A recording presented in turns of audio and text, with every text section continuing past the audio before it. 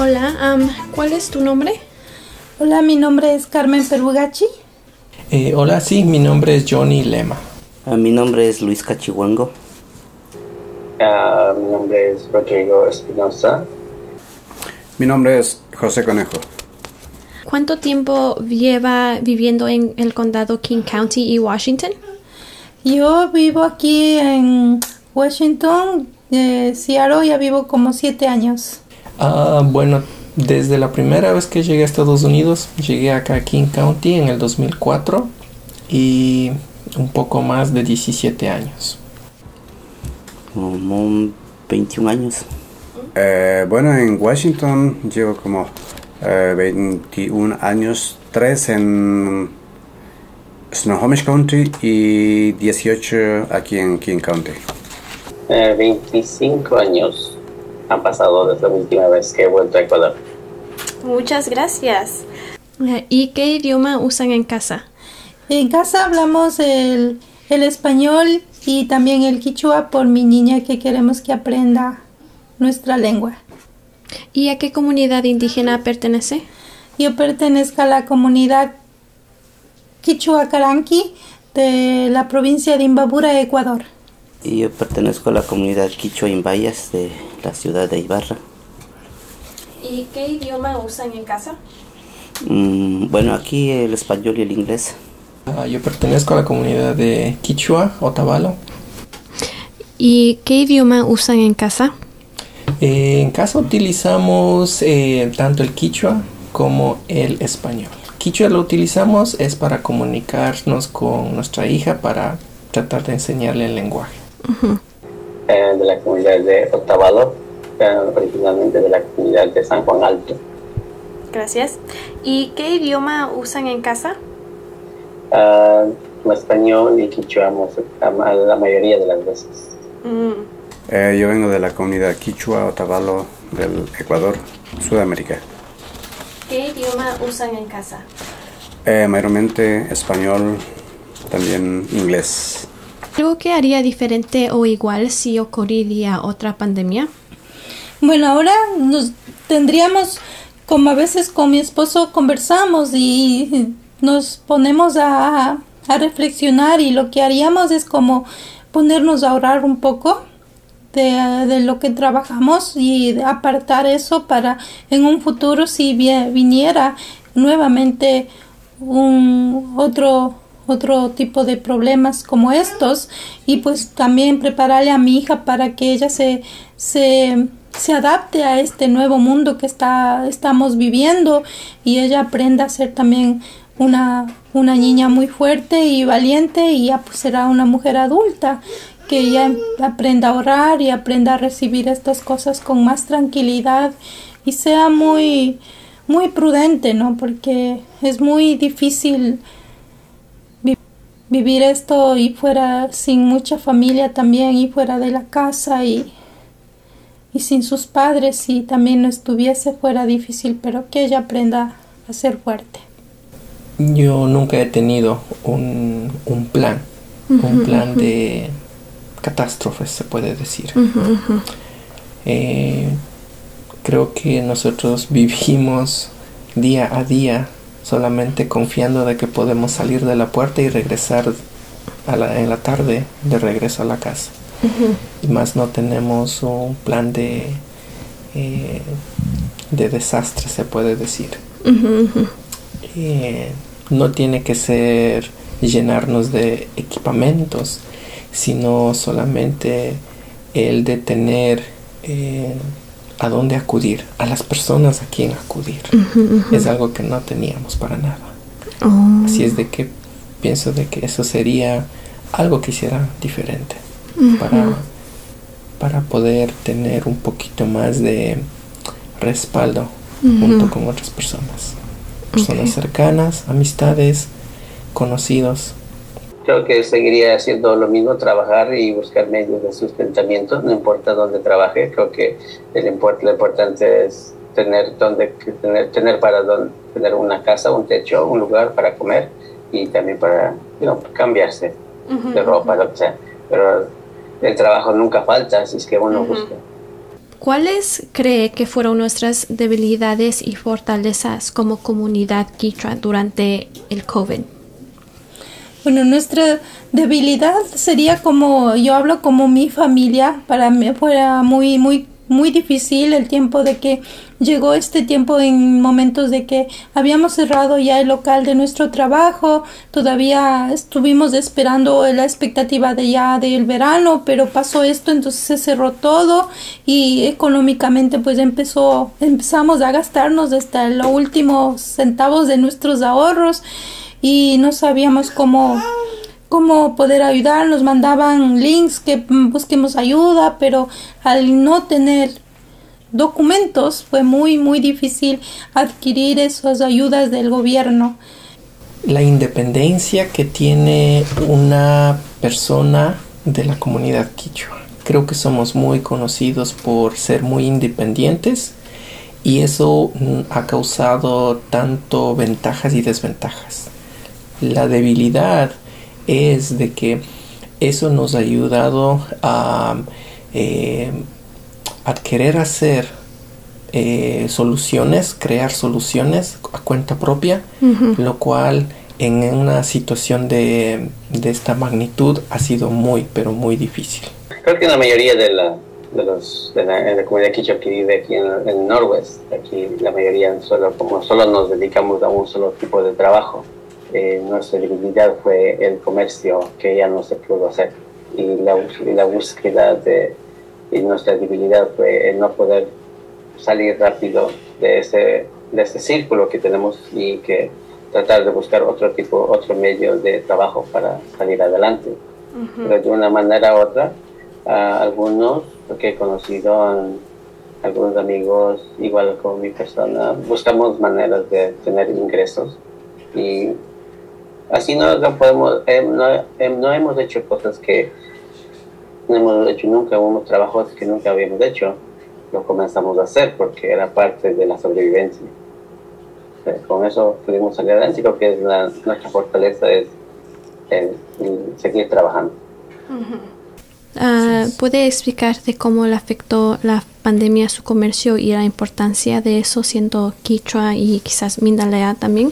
Bueno, en mi experiencia como nosotros como familia también hacemos el, el trabajo de, del comercio eh, y nosotros siempre estamos expectantes de, de, de trabajar por medio de ferias, eventos y eso es nuestro sustento para casa, para el hogar, pero al saber que eso no, no iba a pasar, pues estaba estaba muy difícil, ¿no? Y, y, más que todo, y si nosotros no sabíamos hacer otra cosa. Bueno, como muchos de los Mindalaes que somos residentes aquí en el en aquí County, dependemos mucho del mercado, ya sea en un mercado eh, dentro de un centro comercial o también de eventos y ferias que realizan a los, sus alrededores. Dependemos en un 100%. Esta pandemia afectó directamente a toda clase de actividad en donde hay aglomeración de gente, lo cual eh, nos afectó en un 100%. No había ningún evento para, para ese año, el primer año del 2020 y, eso a nosotros eh, nos afectó tanto que tuvimos que buscar eh, alguna alternativa de inmediato. Es por eso que en mi caso eh, traté de hacer un trabajo con la ayuda de una persona que se dedicaba a hacer trabajos de la construcción y mantenimiento del hogar. Los indígenas tratábalo en su mayoría, en su mayoría. Siempre nos, desde que mi abuelo, mi abuelo, mi papá, siempre se han dedicado al comercio. Y es lo único que hemos hecho desde pequeños. Desde temprana edad hemos comenzado a hacer el comercio, iba con mi papá al mercado, a las ferias, a hacer comercio. Entonces, como es el único medio que conocíamos para sobrevivir, la cual nos ha ayudado, puedo decir que nos ha ayudado a viajar por todo lado nos ha ido con el tipo de comercio, nos hemos, nos hemos desenvuelto en cualquier parte del mundo. He viajado por muchas partes y gracias al conocimiento del comercio que mis padres y mi abuelo ah, nos enseñaron, eh, pues hemos podido salir adelante, hemos podido sobrevivir. Entonces, y cuando llegó la pandemia, nos vimos frustrados porque no podíamos hacer algo que es fácil para nosotros y tratar de desenvolvernos en otro ambiente, en otro medio para sobrevivir se hizo más difícil. Y como los indígenas, ese círculo, ese círculo donde no podíamos salir y mucha gente, según escuché, no sé si es verdad, que decidieron mejor no hacerlo y esperar a que, a ver si comienza otra vez el negocio, las ferias, los eventos, para poder salir otra vez. ¿Tiene algún mensaje para la comunidad quichua, unos pensamientos finales? Bueno, yo como mujer quichua también, me gustaría que nuestra comunidad, nuestros amigos, compañeros, nos unamos a tener un poquito más de diálogo sobre estas cosas para en un futuro prepararnos.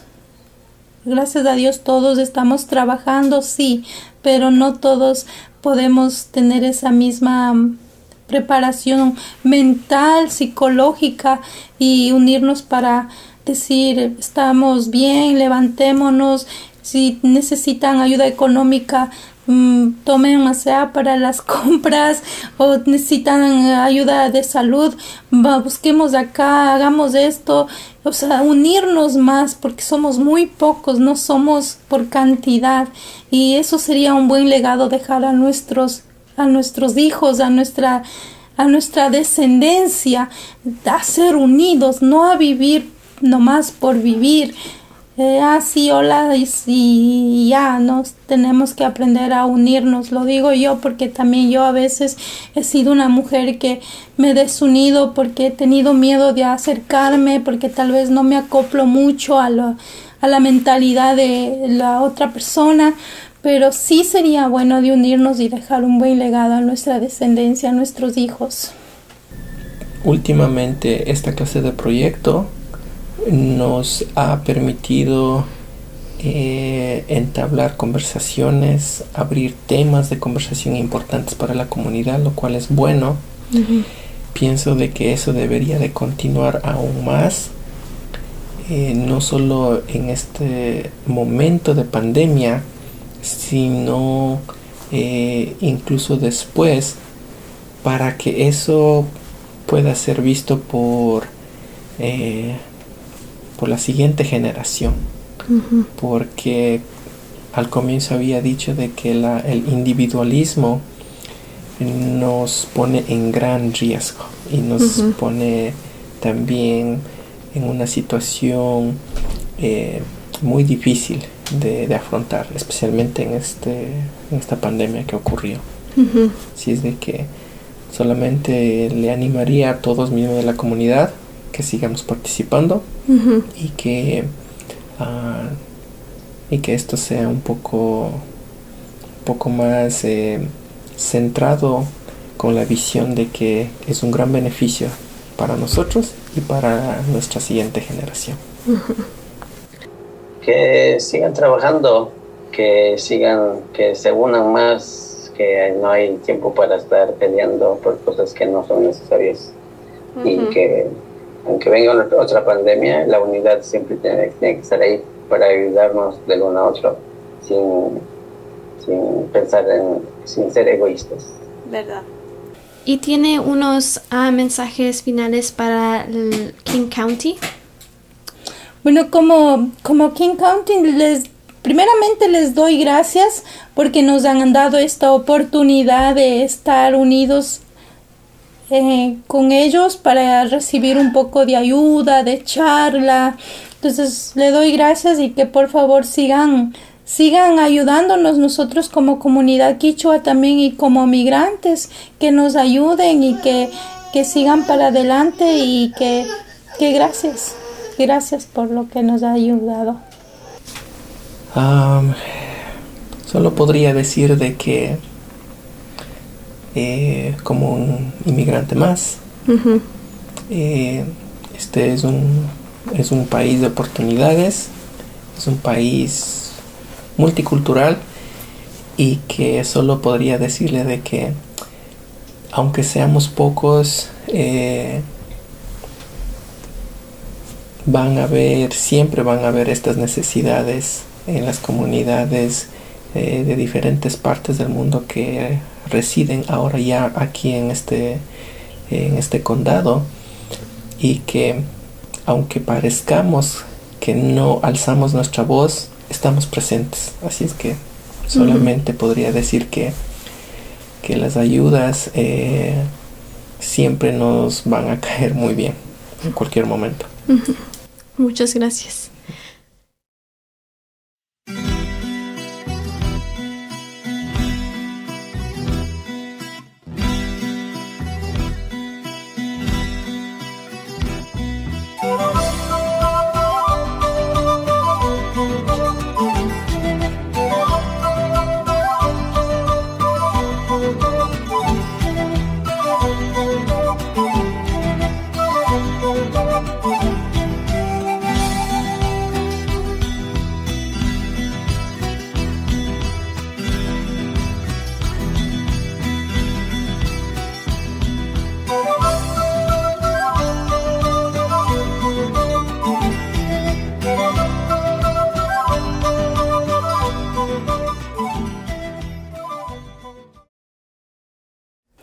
Yo extraño mi niñez en, en, mi, en mi comunidad. Entonces, pues Zuleta es una comunidad tan pequeña, lleno de montañas, de animales, eh, de ríos, de lagos. Entonces, pues yo eso extraño de mi niñez, porque yo mi niñez, toda mi niñez me crié en Zuleta. Pues de ahí ya fui a vivir a la capital, que es Quito, Ecuador. Y ya la, la ciudad es muy diferente. Pero aquí, aquí en este, aquí en Estados Unidos, lo que estoy viviendo aquí, extraño mucho estar allá. Extraño mucho las montañas, la comida, la calidez de las personas. Ahí todos nos conocemos porque es un pueblo tan pequeño que ahí nos conocemos todos. Quiénes son sus hijos, quiénes son sus nietos, quién es el abuelo, quién es esa persona. Entonces extraño esa calidez de personas, de, de gente que vivimos ahí. Y aquí no. Entonces, sabemos que usted ah, es músico y ¿por cuántos años ha estado haciendo eso ya? Casi, bueno, bueno no recuerdo, yo pienso que unos 40 años. Oh, wow, entonces la mayoría de su vida. Que la mayoría de mi, de mi, de mi vida empecé como, como los 12 años, más o menos, pero ya tenía antes como a los 8 años, 10 años ya tenía la, eh, esa curiosidad de, de, aprender algo de, de la música, más que todo andina. ¿no? ¿Y qué significa para usted siendo músico, um, tocando su flauta? ¿Qué significa eso para usted personalmente? Bueno, para mí, primeramente la música es mi pasión, es lo que con lo que crecí, con lo que quise aprender y con lo que quiero llevar toda la vida hasta, hasta cuando pueda, ¿no? Entonces, esto es, es, es, todo para mí, la música es, es, alegría, penas, relajarse, compartir y fiesta o tristeza, es todo para mí la música. ¿Y la pandemia cómo le afectó psicológicamente? Pues sí fue bastante grave la situación que pasamos porque uno no sabía qué es este qué es lo que va a pasar. Y pienso que muchos empezaron a tener un, un miedo. Yo tuve miedo también de dije qué va a pasar de aquí en adelante y entonces sí pienso que todos o muchos experimentaron esa, esa cosa ese temor de que, qué va a pasar y los primeros días que cuando pude salir a, después de dos o tres semanas a, comprar algo, después de estar encerrado todo ese tiempo, y miré igual todas las calles vacías, o sea, me puso muy triste y dije, recordé muchas hasta de películas que como, como en el planeta ya no había nadie, no había gente, entonces como que mucha nostalgia. Sí, momentos este, de nostalgia, de estrés, desesperación, falta de sueño, sí, y todas las cosas, sí. Oh, Y en términos musicales, ¿usted cree que hay ese Randy Randy? Sí, también existe eso, pues este siempre hay la experiencia de encontrarse con, con diferentes músicos y compartir.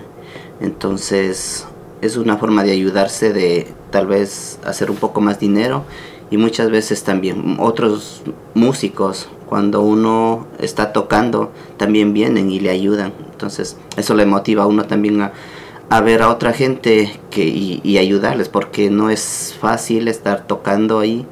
Ah, tuve la experiencia hace como un mes en diciembre. Hay un señor que toca aquí en el Fred Mayer, que toca el violín y, y me imaginaba, recordaba cuán, cuán duro es tocar en el frío.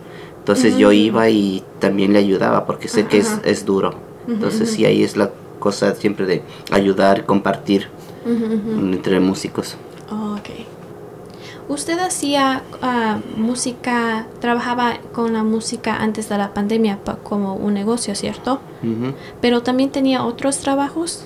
Sí, bueno, como le digo, siempre con la música ha sido lo primero que, como puede ser como mi primer Yeah. trabajo, pero siempre también estaba, pues días del, entre días de la semana, de lunes a viernes, este, trabajaba en un restaurante, en varios lugares de diferentes tipos de comida, comida mexicana, haciendo pizzas. Ah, también trabajé, antes trabajé cortando la hierba. Sí, Yeah. también. ¿Y cómo afectó la pandemia a esos trabajos? Pues, pues mucho, porque no sabíamos qué iba a pasar. Y al final, bueno, perdí el trabajo, pero encontré otro, pero, Oh, o sea, era, bueno. sí, nunca regresé ahí donde trabajaba. No, no nos, no nos volvieron a contratar o no nos contactaron otra vez, entonces tuve que buscar otro trabajo. ¿Aplicó para unemployment o en cualquier beneficio No, así, no? no, Oh, sí. Bueno, ah, el dueño donde yo trabajo ahora me dijo que, que podía aplicar, pero después dijo que tal vez porque no, no era residente, no, no podía aplicar para eso. Oh, well, muchas gracias por um, ah, compartir esto con nosotros. Y para últimas palabras quisiera decir un mensaje a la comunidad quichua. Que nos mantengamos unidos, que tratemos de compartir más. Y gracias a todos por estar aquí. Y espero que siempre sigamos ad- adelante y nos compartamos más en, en cualquier día o cualquier momento. Tratar de estar juntos. Y le gustaría decir um, algún mensaje a la- al condado de King County, um, porque usted ha vivido mucho tiempo ya aquí. Ah. Pues solamente agradecer por muchas cosas buenas que hay aquí, eh, especialmente en esta ciudad, en este estado, porque he vivido en muchos lugares de aquí, en otros estados y nunca he tenido la experiencia y esto es como, como mi hogar aquí, como mi segundo país. Entonces sí agradecer mu- mucho al, al aquí.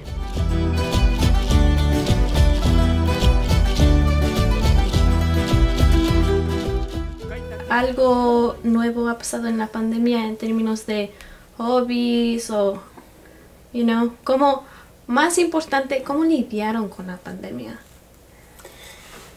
Porque afectó a todos, right? Sí. psicológicamente o like cómo, ajá, No sé, a mí, a mí en particular ah, me ha pasado algo bueno y algo malo también.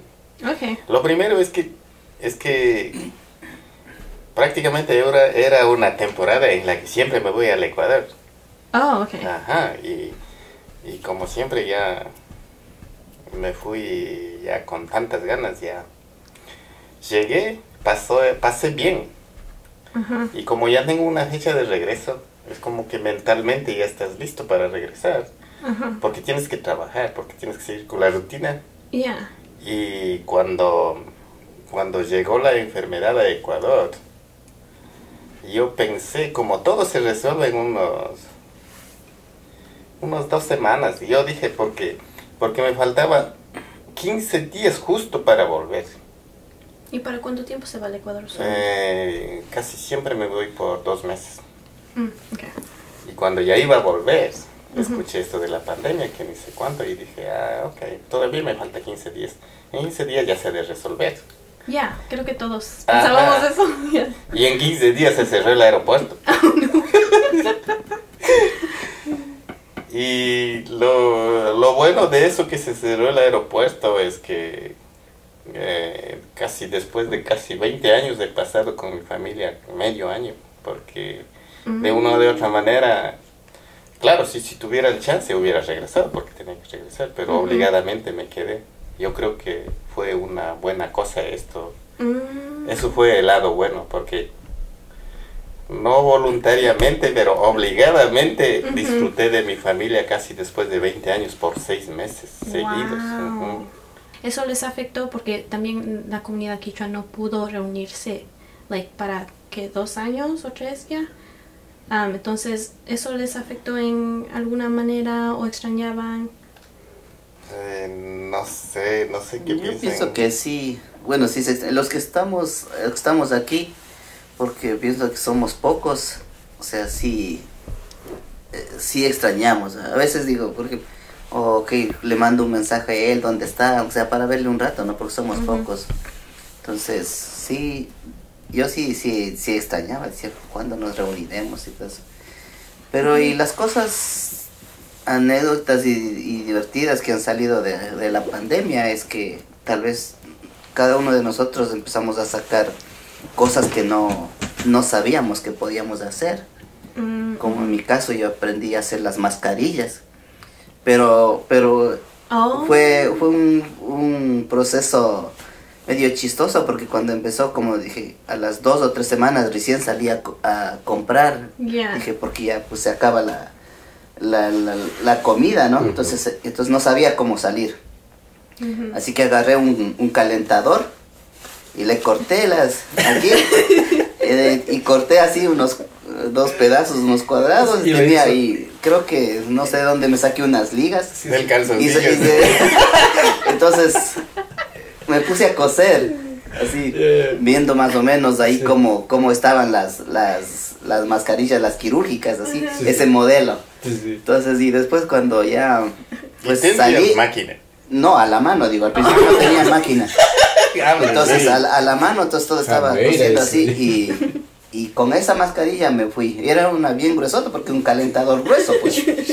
Oh, Entonces dije, bueno, pues me ingenio, es así. y Yo miré así como las estaban indicando en la televisión cómo son las mascarillas y ya, pero total es que salía así a, a comprar. Entonces dije, si puedo hacer a mano, pues voy a tratar de hacer, conseguir una máquina. Y sí creo que tenía una máquina, Sí. pero no la había usado. Eh, dije, y ahora, pues todo, todo estaba cerrado. Claro. Digo, ¿y ahora dónde? Tela. ¿Dó- ¿Dónde compro la tela para hacer no, la- las mascarillas? Yeah. Así que un par de camisetas tuve que cortarles. decir. Sí, unas que así. Y después ya, Oh, wow. ese dije para, para, para mí, para cambiar, Claro. ¿no? Y después dije, bueno, fui al Fred Mayer y ahí, ahí donde estaban vendiendo la ropa, dije voy a comprar esta tela, así que empecé a comprar pijamas de las extra large, las más Yeah, grandotas, ajá. y estaban de rebaja, pues de, de- Y de Ajá, dije, de los aquí voy a cortar, dije así, y empecé a hacer de, de un par de pijamas que compré ahí. Oh my gosh, no Ajá. sabía. Ya, eso. Y ya después miré muchos tutoriales. También me hice las que decían que de, la- de las botellas de, de Coca-Cola o de Yeah. para hacer las de estas. También así, sí, me hice también de eso, o sea, Así. me llegó así unas ideas y Claro. entonces eso digo, o sea, todo eso es- nos hizo ver que podemos ah, ser Yeah. creativos muchas bien cosas. creativo. Sí. Y después ya empecé ya con la máquina y ya este y hacer mejor, a ver otros modelos y ya mm, pues, me descargué los moldes Yeah. y ya, ya me, sal- me salían mejor. Ujú. Y entre los amigos ya me empezaron, me decían, les digo, tengo mascarillas y me empezaron a comprar todos los amigos, o sea, ya me, hice- me empezaron a conocer. Entró a Y, ajá, y sí, sí, Yeah. sí, vendí mucho. Oh, eso Sí. es súper, ya. No sabiendo que está hecho del calentador viejo. No, después ya poco a poco fueron, la primera que conseguí fue en la tienda de Michaels, ya. entonces, y conseguí un poco de tela ya de diferentes colores. Y ahí empecé a hacer, pues ya con este tipo de tela y era mejor hacer, Oh. Claro. sí. ¿O Yo- cómo, cómo el negocio ha, ha cambiado para ustedes? Mm, No sé, en mi caso particular, eh, más bien yo perdí el negocio prácticamente. Mm. Porque, porque yo me quedé medio año en Ecuador y ya tenía que volver. Y cuando se abrió el aeropuerto volví. Y, y llegué acá. am, y eso es lo raro, cuando estás en Ecuador te da ganas de venir.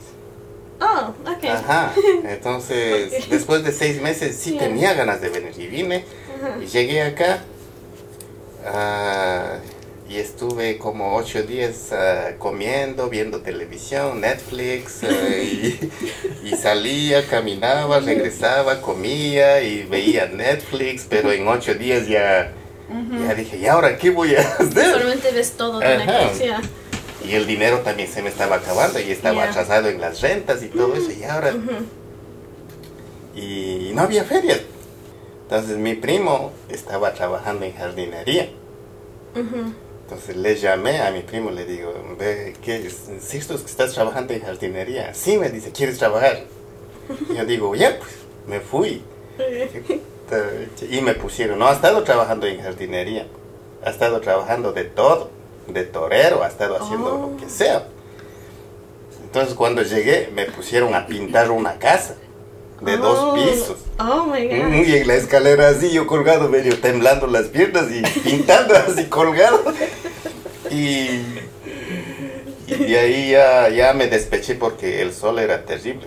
Ajá, ajá. Estuve haciendo eso en pleno verano. Aunque vino de Ecuador. Sí, Yeah. demasiado es el calor aquí, afuera. Oh. Después busqué trabajo, me entré a trabajar en, en Amazon. Wow, ok. Y empecé a trabajar en los turnos de noche porque estaban traba- ah, pagando mejor en los turnos de noche. Yo dije, sí. pues voy a meterme, ajá. Y daban bonos, eso es lo que más me tentó. pues. Oh, ok. Pero un- cuando trabajas para alguien, el dinero no te alcanza para nada, más que Wow, para wow, wow. vivir. ¿Eso Para- aprendiste?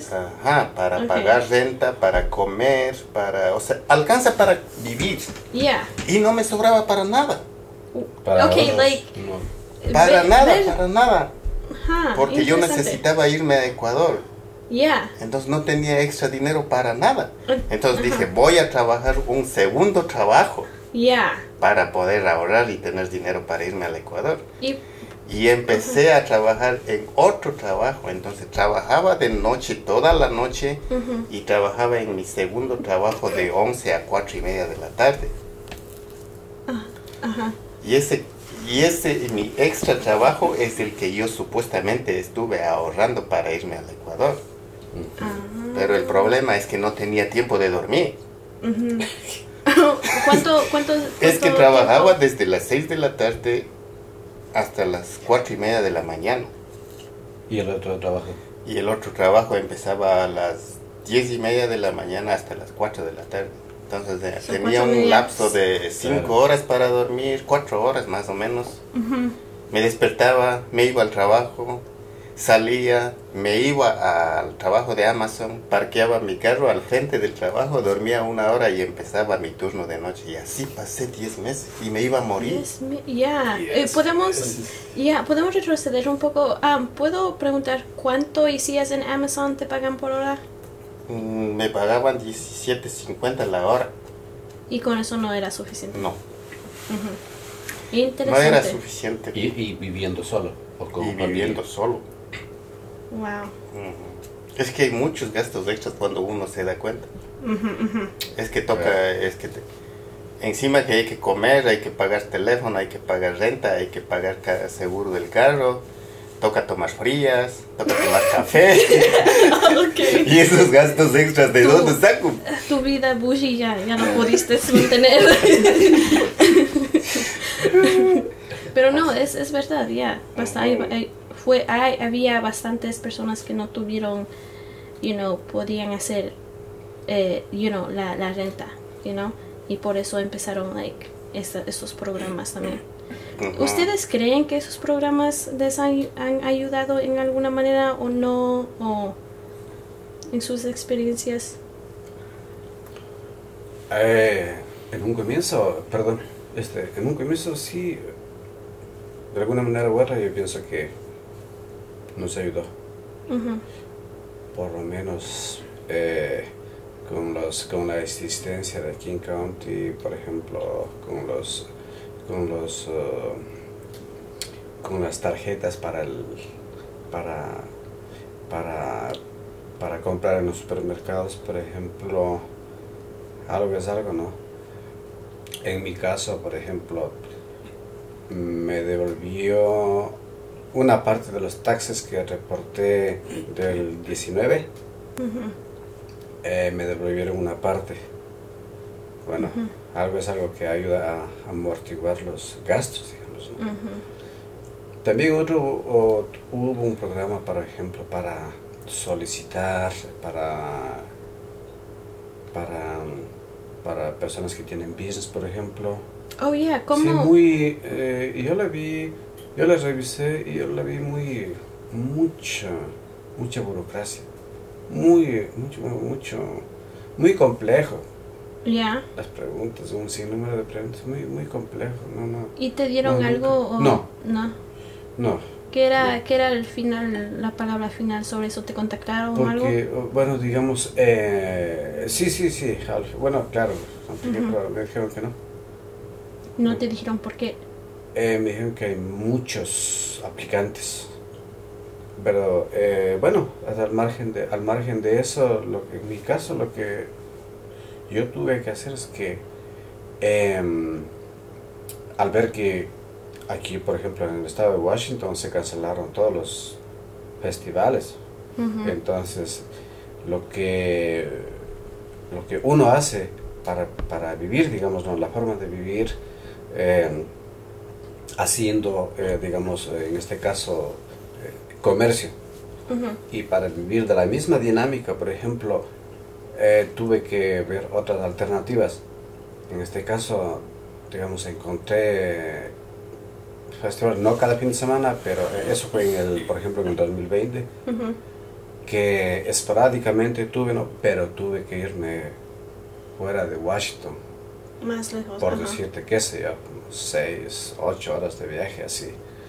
Y encontré unos festivales pequeñitos, pero en, en medio de la nada, no había ido, ¿no? Y recuerdo que es algo anecdótico también, me acuerdo que fui a, a, a Montana, Yeah. un pueblito pequeñito. Y creo que es que es en medio de la nada. Y creo que la gente ni siquiera sabía que existía el COVID. Ah. Ni una persona yeah. tenía Sí, máscara. yeah. Ni una persona. Así. Wow. Ajá. Interesante. Y, y encima de eso, creo que fue la primera vez que vieron a alguien con el producto que yo vendía. Ajá. Y salió bien, ¿no? Compraron, yeah. Sí, sí, me quedé sorprendido. Yeah. Porque era, por decirte, un festival de dos días. Yeah. Pero cada día era, qué sé yo, unos tres horas de, de hacer business. Yeah. Si perdías, si perdías esas tres horas, ya pierdes el día.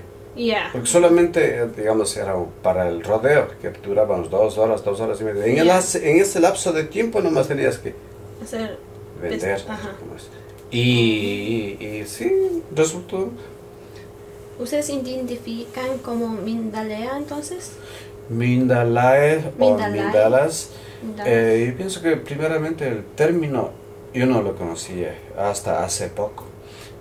Es un término que se utiliza para identificar, digamos, a alguien que hace comercio, que hace intercambio, que viaja y que, digamos, eh, en otras palabras, se busca la vida. Y hace música también. creo. Claro, Yeah. todo, porque, digamos, en nuestra cultura no es solamente el comercio, sino también es música, Somos, multi- todos somos como multidisciplinarios, impro- improvisadores, ¿no? Que, que- que entonces si no hay algo, o sea, improvisamos esto, o sea, y, y lo hacemos, aprendemos. Yo nunca he escuchado hasta que hasta que surgió ese documental. Ya. Y Eh, eso que no sé, no sé, o sea, tal vez estoy equivocado, ¿no? Pero yo pienso que se debería buscar una una palabra más concreta para oh, para la para este asunto del Mindalay. mm, Porque Mindalay parece que es un- una palabra muy no sé, muy técnica, creo. interesting. Tal vez para la- las para ¿cómo se dice? Para archivos, para para escribir datos, para especialmente archivar sería tal vez alguna palabra bien correcta, no es técnica más Ujú. que todo. Pero yo creo que, o sea, no sé, yo personalmente no me identifico tanto decir Ujú. que te- a qué te dedicas. Yo soy un Mindalay, ¿no? Yo, no me... Tal vez identifica, ¿no? O sea, tal vez soy, no sé, ¿no? Pero yo creo que tal vez, o sea, técnicamente sí identifica la palabra. Pero yo no siento decir soy Mindalay. Right. Ajá. Ujú.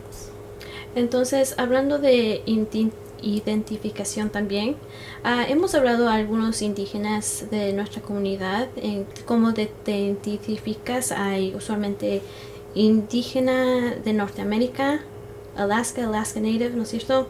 O hay, ¿qué hay? Ah, blanco y Latino. black person o latino. Hispanic. Ajá, Hispanic slash Latino o Mm. other. ¿Cómo ustedes se sienten eso y qué saben decir en eso? Porque, no sé, um, yo me sabía confundir bastante con eso y después no sabía que alguien también lo hacía hasta que hablé con otros indígenas también. Eh, se ha pasado, digamos, en estos, en estos años de vivir acá, ¿no? Y, por ejemplo, ha habido ocasiones de llenar formularios, por ejemplo, cuando se tienen niños, o por cualquier otra razón, por ejemplo. y, y no hay una casilla que- para nosotros, digamos, donde podemos encajar. Es que hacemos un análisis y, y- y buscamos, digamos, una casilla donde encaje nosotros eh, en base a nuestro grupo étnico y región. No hay, pues. Entonces, muchas veces yo he puesto other. O al lado le pongo Quichua. eh, Yo, en mi casa, claro, igual Quichua en Vaya, siempre, sí, siempre en Oder, porque no, no hay otra más. Claro, ajá. Interesante. ¿Y Mm. usted, Alonso?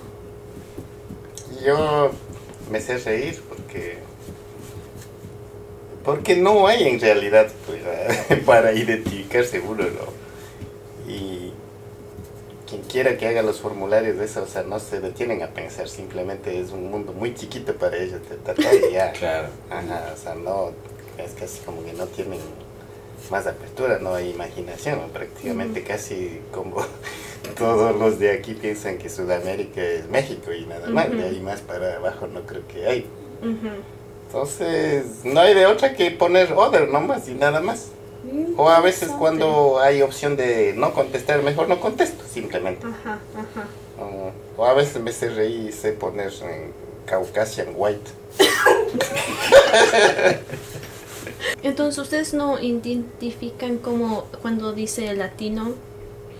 No, No creo. personalmente no. No, no creo. Porque ese término viene, o sea, digamos, con la llegada de los europeos acá.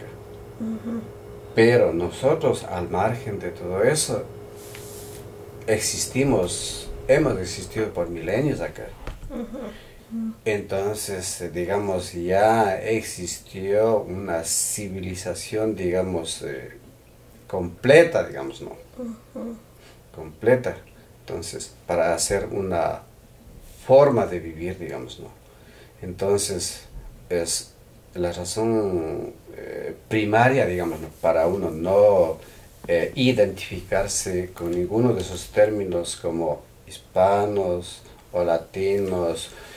O sea, no es que se quiera, digamos, uno segregar de, de, de- de esa terminología o de ese grupo social, no, simplemente que nosotros, digamos, ya hemos estado por milenios. Entonces, eh, hay, digamos, es, suficiente razón, digamos, o toda la razón para uno identificarse como uno mismo y no como, digamos, como hispano o latino. No hay nada de, digamos, de, no hay, no hay nada de repudio, no hay nada de eso, simplemente, digamos, hay que, digamos, hay que identificar nada más. Entonces, para terminar, um, rapidito, um, ¿tienen algún mensaje para la comunidad quichua que quieren decir o comentario? No, simplemente que no nos confiemos todavía, hay que cuidarnos todavía. Eso sería lo único, yo pienso. Ya. Porque el resto creo que cada quien sabe mucho más. Ajá. Cuidarse es un- Claro, más yo pienso, importante. yo, pues a, a los de aquí, a los que estamos aquí, o sea, que estemos así en contacto, que no- nos mantengamos y esto nos, ay- nos ayuda a estar, por ejemplo, estar felices, les vemos otra vez y ya sé que, porque si no, a veces yo sí pienso, digo, ¿qué estará haciendo el otro? No le he visto, entonces, entonces pero esto hace bien de estar aquí, me, que, que decir a los que estamos aquí, que estemos un poco más unidos, que tratemos de estar más en contacto, porque los demás de allá pues ya están con sus familias y Yeah. como dices, o sea, en las redes sociales es- se sabe una cosa, otra cosa, pero, pero es, es nada más as- hasta ahí llega, pero aquí los que estamos aquí, Yeah. estemos más, más unidos, más en contacto. Verdad, verdad. Pues muchas gracias por esta entrevista y muchas gracias por venir y sus tiempos y todo eso. Am, y llamarán nomás cuando quieran. Cuando quieran. Yeah. Thank Ajá. you. Gracias. Ya.